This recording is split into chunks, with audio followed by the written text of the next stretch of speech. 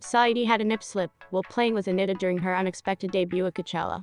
Coachella is here, and the festival is off to a great start. So far this year, many superstars, including Justin Bieber, have come as surprise performers.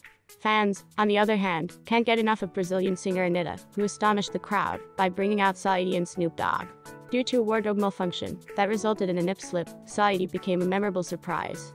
During a performance, the female rapper wore a vibrant miniskirt and a matching bikini top. Despite the fact that she was killing it on stage, the left side of her top began to sag, exposing a little of her left breast. At first glance, it appears to be a portion of the top.